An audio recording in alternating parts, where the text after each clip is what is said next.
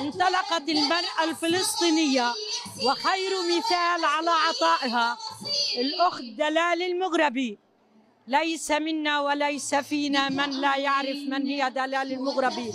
الشهيدة المناضلة الثائرة التي ضحت مع إخوانها في من أجل الهدف المنشود الدائم وهو التحرير وعاصمة دولتنا وإقامتها الفلسطينية القدس.